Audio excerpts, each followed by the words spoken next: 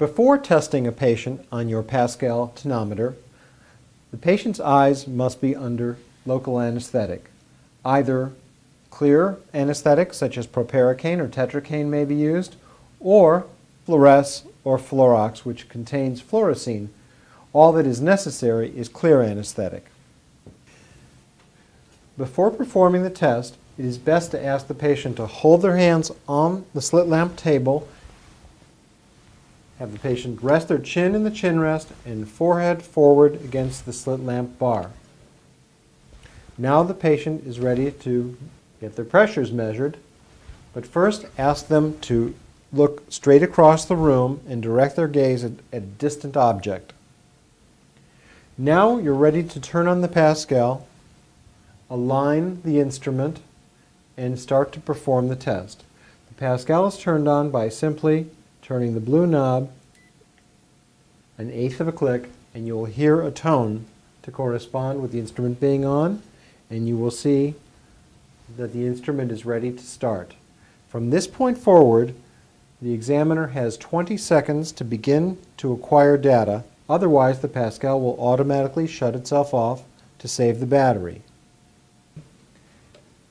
Once again, turn the Pascal on by clicking the blue knob. The view of the Pascal image, the, the sensor tip image is through the left ocular and approach the eye. When contact is made,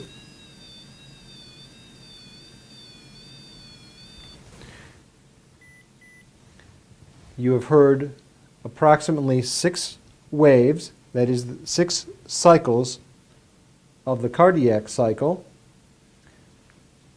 and the resultant test reads on the LCD screen.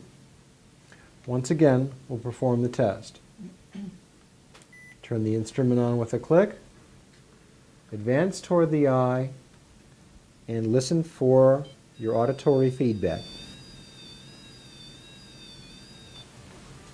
You heard six waves, a pressure reading, a pulse amplitude reading, and a quality reading.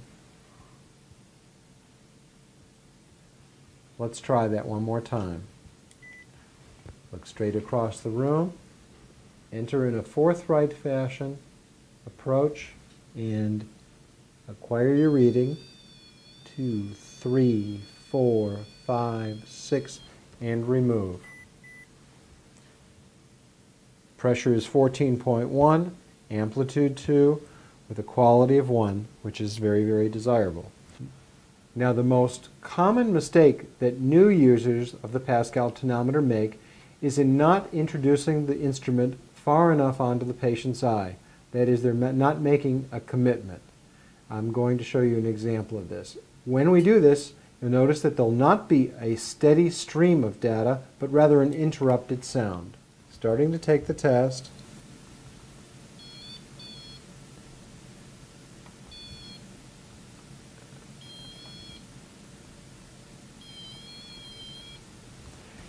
You can see that there is an uneven stream of data. Now I'd like you to keep looking forward. I'm going to advance to the next test by clicking the blue knob, and we're going to do it the right way.